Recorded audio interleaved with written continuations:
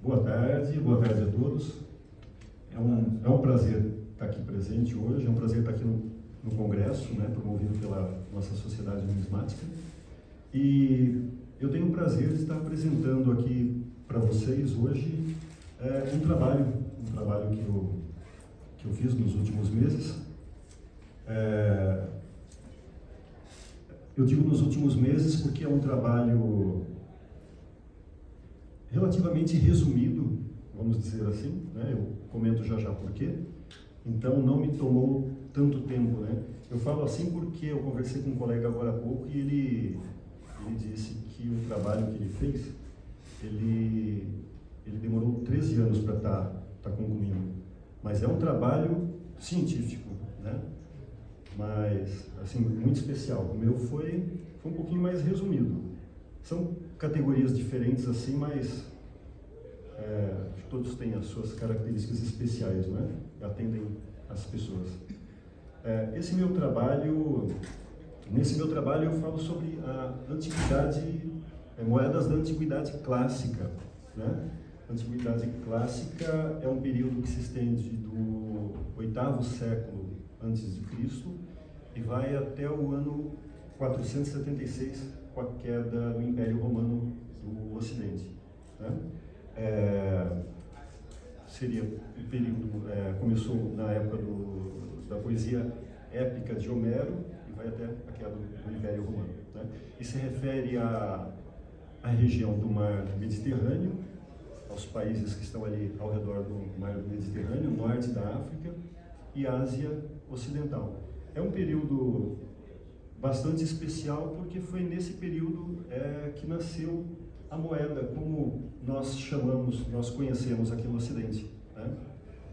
é, que seria a, a, o metal pesado com os seus divisores, os seus múltiplos, que tinha lá um, um carimbo né, de, um, de um órgão que, que emitiu mesmo, é, algo parecido com o que a gente tem hoje em dia, não é? São é, seria a moeda e seus, seus centavos, seus múltiplos, enfim. É, antiguidade clássica é um período longo, é um período de 1100 anos, né? É, e contempla esse, esse período de 1100 anos contempla assim vários povos, né?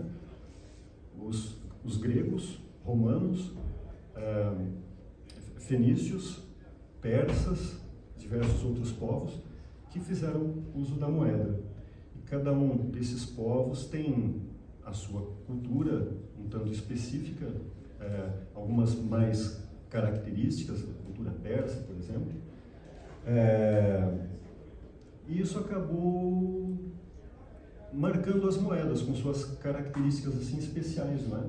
Então a gente tem um período longo com diversas culturas consequentemente com diversas moedas assim que a gente com um pouquinho de conhecimento identifica e vai até separando ah essa é desse povo essa é desse outro povo né? é, como falei é um período bastante longo de mil e, e cem anos né? Nesse meu trabalho nesse meu estudo eu tenho apenas 100 moedas. São 100 moedas ainda. O imperador Constantino de um, sei lá, se a gente falar de uma moedinha apenas de um foles, seriam centavinhos da época, certamente ele emitiu mais de 100 moedas, variações né, de foles. Mas, enfim, o trabalho tinha que ser condensado e não, podia, não poderia ficar tão grande ou tão custoso. Né? A ideia era essa. É, nós temos 100 moedas, numa ordem cronológica, né? É, temos as primeiras moedas da Lídia, é, Jônia, moedas de, daquela liga é, uma liga de ouro e prata. Seriam moedas bastante toscas, né? parecidas com um grão de feijão, assim o pessoal costuma brincar. Né? Tem ali um carimbo bastante elementar, em um dos lados apenas.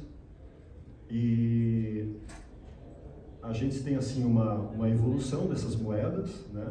É, num dado momento, fizeram-se ferramentas para gravar os dois lados. Né? É, no outro momento, esse metal, é, seja o ouro, prata, o cobre, enfim, com suas ligas, é, com suas características físico-mecânicas, esse disco ele foi esticado, né? ele ficou maior, consequentemente mais fino, permitindo assim mais informações. Então a moeda ela se tornou um grande meio de propaganda, né? seja propaganda política, propaganda religiosa. Né? É... Bom, os cunhos para essas moedas e bem como todo o processo, obviamente era, era manual. Né? Preparava-se os, os discos, as ferramentas diversas, num processo manual. E esse processo permitia muitas variações. Né? O processo todo era relativamente simples, com o que a gente tem hoje em dia, né? com a, a industrialização, e permitia muita, muita é, que ocorressem muitas moedas diferentes, vamos dizer assim. Né? Como eu comentei, é, a gente tem uma linha cronológica de 100 moedas né, neste livro. E em cada página, a gente tem é, uma moeda, só que são três moedas iguais. Né? A gente tem três moedas iguais em cada página, é, mas como eu falei, devido a essa característica do, do, dos cunhos e discos serem preparados manualmente, um a um, as moedas da antiguidade elas, elas nunca são iguais, né? Se a gente pegar ah, três dracmas de Alexandre, três tetradracmas é, de Atenas, elas têm diferenças, diferenças gritantes às vezes, né? É, seja no formato, é, mais ou menos no peso, em função até da, do, do metal, né? Com cobre bronze a gente tem uma, uma variação maior no que se refere ao peso. A prata é mais cuidado, ouro muito mais cuidado ainda. Então a, a, ideia é essa. A gente, em cada página é, desse estudo, a gente tem três moedas iguais, em que se compara é, pesos, medidas, estilos é, diversos. É, no caso de moedas romanas, por exemplo, com a imensidão que era abrangendo toda a Europa, norte da África, a gente tem assim moedas batidas em Roma, é, moedas batidas na, na Espanha atual, na região, em diversas regiões da França ou do Oriente Próximo. Então a gente tem é, uma variação muito grande. Se, se formos falar apenas de moedas de Constantino, de alguns de seus filhos, a gente tem variações muito, são, são detalhes muito característicos de cada região. Né?